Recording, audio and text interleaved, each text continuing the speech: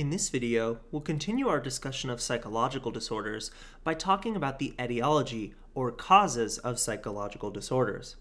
Now I'll note that in future videos we'll talk about the causes or etiology of specific types of psychological disorders like anxiety disorders or mood disorders. In this video, however, we're really going to focus on general explanations that apply broadly to many types of psychological disorders. So let's start by discussing the biopsychosocial model of psychological disorders. So this is a big uh, word here, but I've kind of split it up into its three components, the bio, the psycho, and the social. And this model proposes that bio, psycho, and social types of factors contribute to the development and perpetuation of psychological disorders. So let me break that down. Bio, of course, refers to biological factors such as brain chemistry, having an imbalance of neurotransmitters like serotonin, things like that, and also genetics, genetic vulnerabilities. Psycho here refers to psychosocial factors such as uh, cognitive factors, maladaptive thought patterns.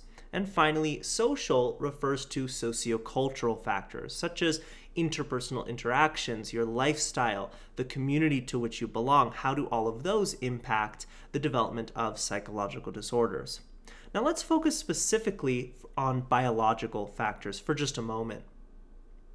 A large literature of research suggests that most psychological disorders have a genetic component, and that some disorders are even primarily caused by genetics. Let's take a look at a graph of heritability estimates for schizophrenia to illustrate. And you can take a look at my video, Heritability and How Psychologists Assess Nature versus Nurture, to learn more about heritability, but I'll just keep things general for now. So let's break this down. On the x-axis here, you have the percent risk of developing schizophrenia, right over here. On the y-axis, you have the relationship to a person with schizophrenia. So the question is, as we get further and further down this y-axis, as you can see, we share more genetic material with identical twins, for example, than we do with the general population. So as we get further and further down the y-axis, does the percent risk of developing schizophrenia increase? Let's take it step by step. So the chance of you developing schizophrenia just based on the general population, there's not really a relationship there, right? Just because some random person in the general population has schizophrenia, that's not going to impact how uh, likely it is you'll develop it because you share no genetic information. You don't share anything with that person. But let's start moving on. So first cousins, for example, 12.5% of the genes shared. You'll notice this bar is a little bit bigger your percentage risk of developing schizophrenia, if your first cousin has it, is a little bit greater than just if some guy in the general population has it. Moving along, aunts and uncles, nieces and nephews, grandchildren, and half siblings. You share 25% of your genes with these people, and if one of them has schizophrenia, you have a greater chance of developing it as well. Moving further, parents, siblings, children, and fraternal twins. You share 50% of your genetic information with these, uh, these people, these family members, and so your risk of developing schizophrenia increases even more if one of them has it. And finally, identical twins. As we've learned from previous videos, you share 100% of your genetic material with identical twins, and so look at the risk of developing schizophrenia, something like 48%. If your identical twin has it, it's a coin flip of whether you have it as well, or will develop it at least.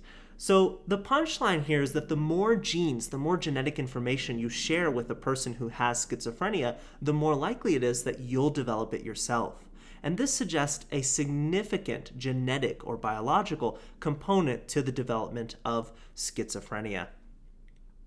So biology is clearly important to the development of psychological disorders, but the biopsychosocial model of psychological disorders suggests that other sorts of factors are important too.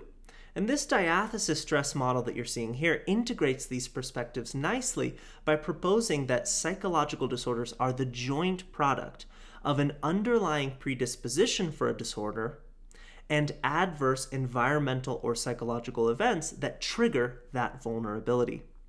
So here, predisposition is what we call the diathesis, which is typically the biological component of the model, like a genetic vulnerability as we've discussed already. I will note that it doesn't have to be biological, however.